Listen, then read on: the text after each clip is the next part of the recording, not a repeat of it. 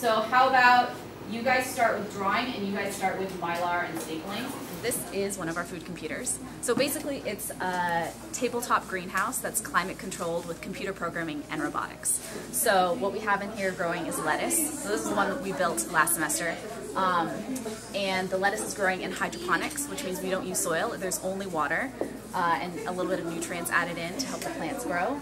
And then it's climate controlled with computer uh, programming. So we use in this one a thing called an Arduino, which is basically a microprocessor, a mini computer kind of. And so in the class we teach our students how to um, do basic coding and then how to code for what kind of temperature and climate we want inside of the food computer.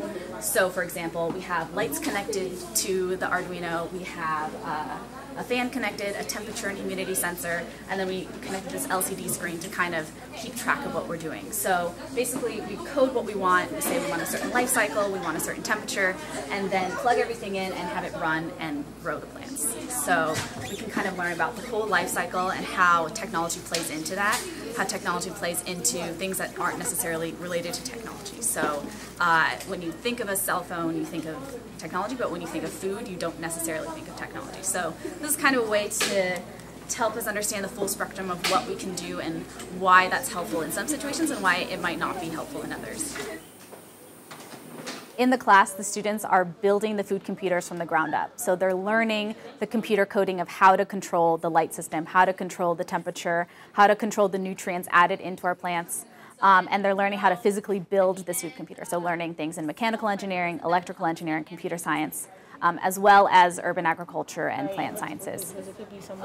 No, it says, and right now we're learning codes, different the different types of codes and everything, like what they mean and how they work. Uh, so here, so enter, so click on that and enter. And then you're gonna add in the operating system line.